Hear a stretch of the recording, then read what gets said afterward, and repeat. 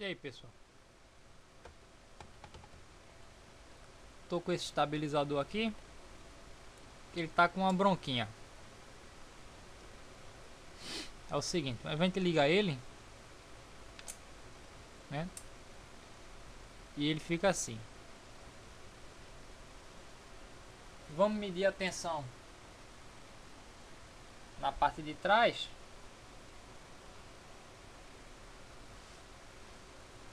E a atenção que ele fica enviando.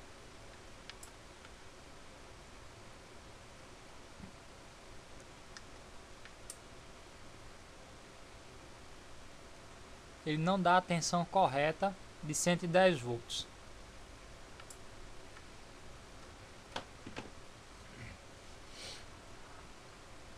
Ele já está aqui posteriormente aberto.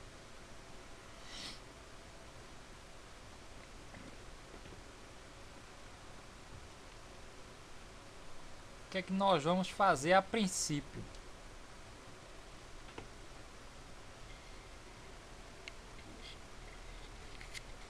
A princípio aqui nós vamos testar todos esses relés por baixo da placa, testar todas as resistências, testar esse esse transistor regulador aqui, que é um 78L05 ele tem que passar 5 volts. Vamos testar também esse LUN 2003 mas geralmente o, a, maior, a maior parte do, do, do problema desses desses estabilizadores é esse chip esse aí que dá dá problema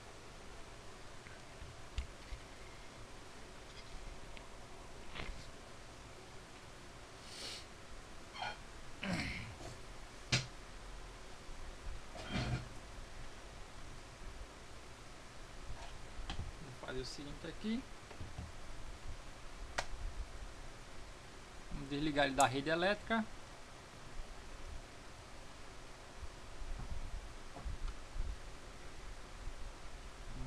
soltar aqui a placa dele.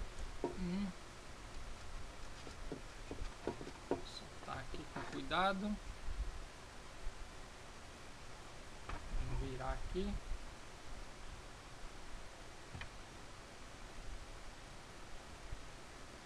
Vamos procurar se tem algum tipo de solda fria.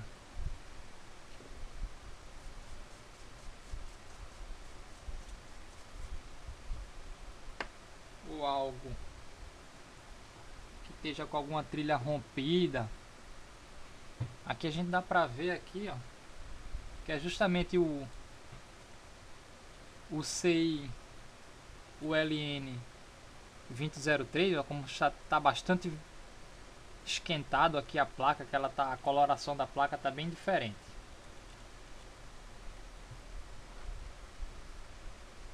tem um capacitorzinho aqui de 30 volts. Pegar uma resistênciazinha aqui.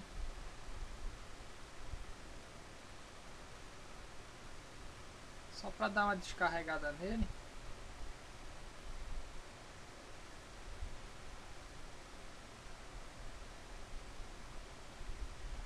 só para a gente não tomar nenhum susto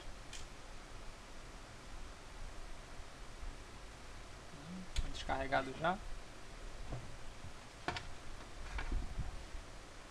Vou botar o multímetro aqui para teste de continuidade.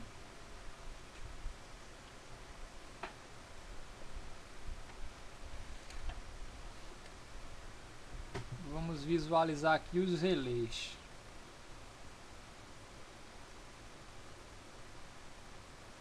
Aqui eu tenho um.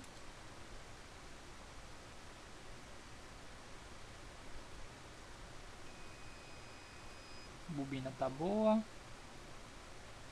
Aqui eu tenho outro.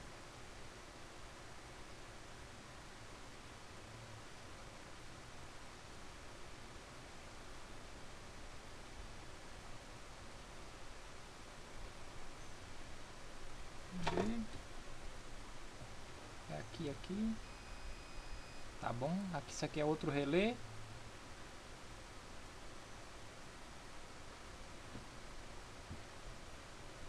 Aqui eu tenho mais um, dois, aqui.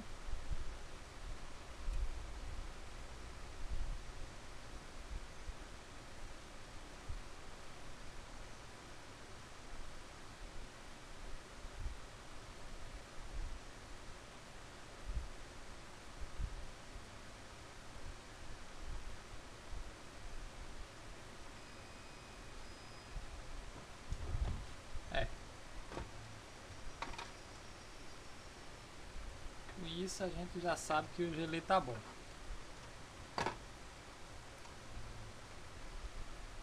Vamos testar também aqui esse diodo. Não deu. Beleza.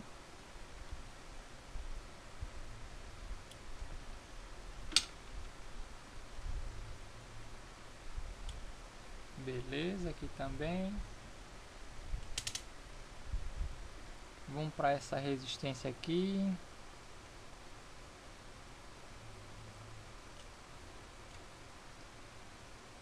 Amarelo 4, violeta 7, laranja 3.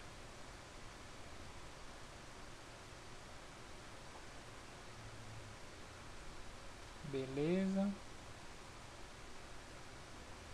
Beleza.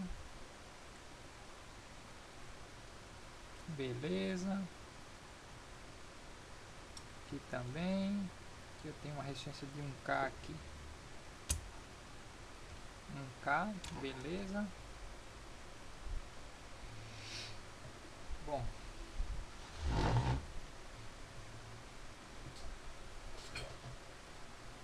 Agora que a gente vai ter que encaixar ele aqui de novo na placa. Só superficialmente a gente vai ter que ligar na rede elétrica. Vamos botar aqui o multímetro.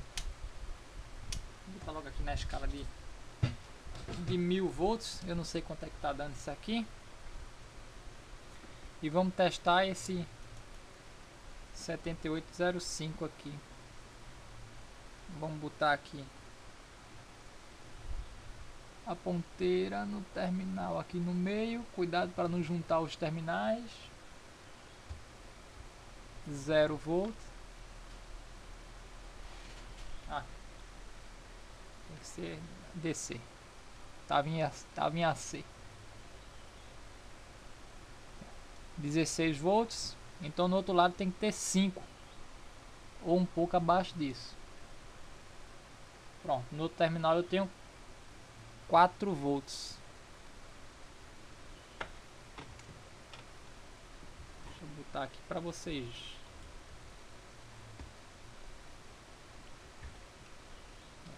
cá. Fazer uma ginástica aqui. Cuidado que o aparelho tá ali.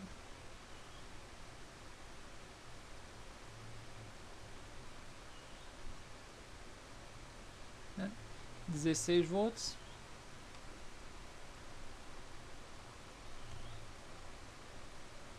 E do outro lado 4.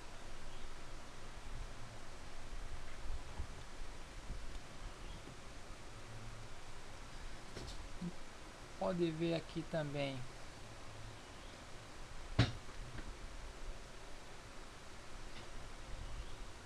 Esse chip aqui CI ele tá aqui pino 1 pino 8 lá é o terra.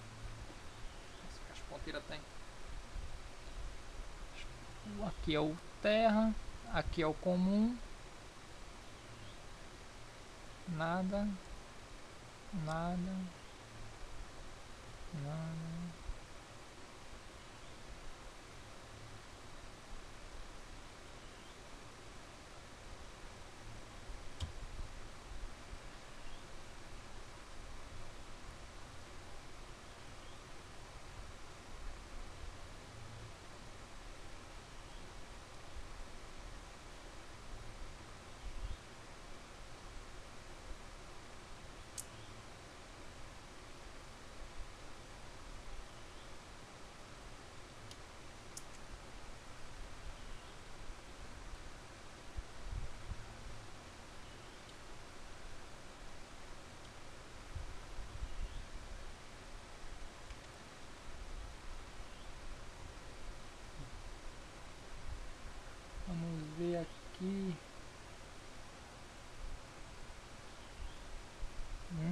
17 volts.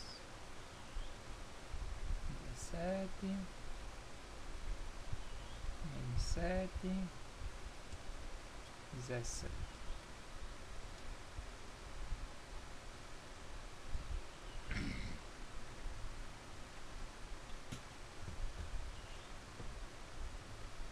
Tá meio variado ele. Vamos trocar. Vamos trocar ele aqui. E vamos ver se ele vai voltar a armar normal. Vou dar uma parada aí e depois eu volto. Aí pessoal. Efetuei a troca do LN. Vamos ligar ele. Ligou. Pode ver que ele está piscando.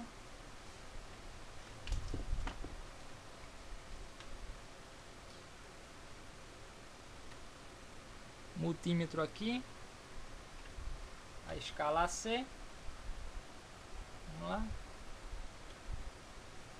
Olha lá. 113 volts. 133 135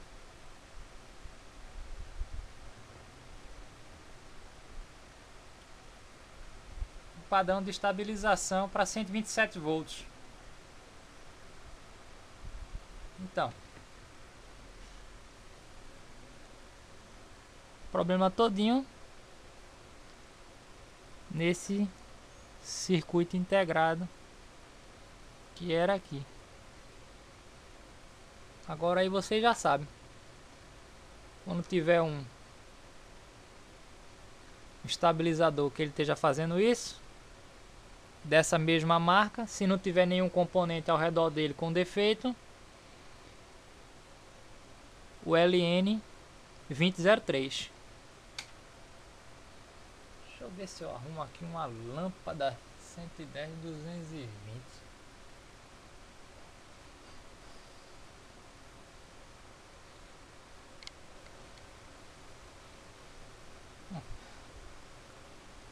Botei aqui uma lâmpada incandescente de 150 watts. Vamos retomar ali a medição.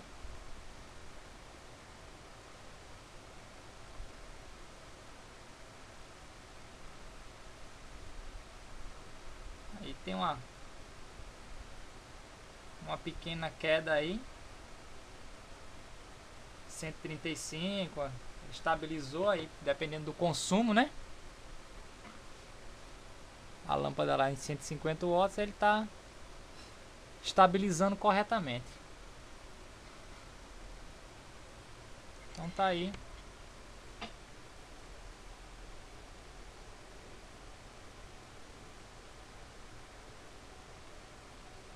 Novo em folha de novo.